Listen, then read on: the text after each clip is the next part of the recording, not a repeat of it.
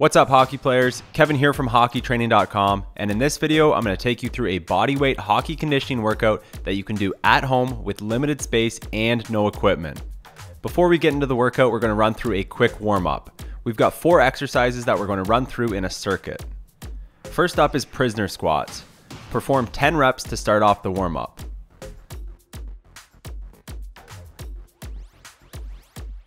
Next, we go into 6 mountain climbers per leg or 12 total.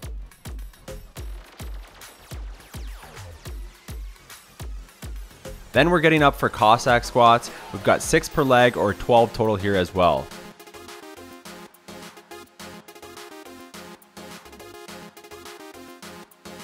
The last exercise of the warm-up is push-ups. Perform 10 push-ups before resting 30 to 45 seconds and running through the warm-up circuit one more time. Now it's time to get into the conditioning workout. We're going to run through three supersets and then finish off with a 60 second finisher exercise. The first exercise is going to be plyo push-ups. We're going to be doing five push-ups exploding up and clapping at the top of each. Once finished the push-ups, we will rest 10 seconds before moving on to the second exercise of the superset. Next up is vertical jumps. We're going to do five vertical jumps jumping as high as you can without pausing between jumps. Once finished, rest 45 seconds and then repeat the superset for a total of 4 rounds. The second superset starts off with Bulgarian split squat jumps. Find something just under knee height for these and perform 3 jumps per leg. When finished, rest 10 seconds before moving on to the next exercise of the superset. Get down to the ground for 8 close grip push-ups for speed. Focus on being explosive, but make sure you go through the full range of motion.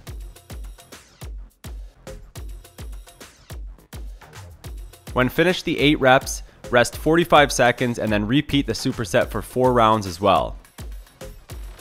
The first exercise of our last superset is going to be alternating split squat jumps. We're doing 3 jumps per leg here or 6 total jumps. Rest 10 seconds before moving into the next exercise. The second half of the superset is going to be a 60 second plank. Focus on contracting the core and keeping your body in a straight line without having your butt too far in the air or having your hips sagging down. Once 60 seconds is up, rest 45 seconds and repeat the superset for a total of 4 rounds. To finish off this workout, we're going to run through 60 seconds of military burpees. Run through as many burpees as you can in the 60 seconds keeping track in your head so that you can challenge yourself to beat your score next time you do this workout. Congrats, you've just run through a grueling hockey conditioning workout with no equipment needed.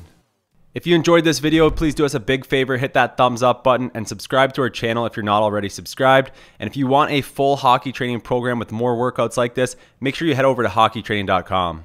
Train hard, guys.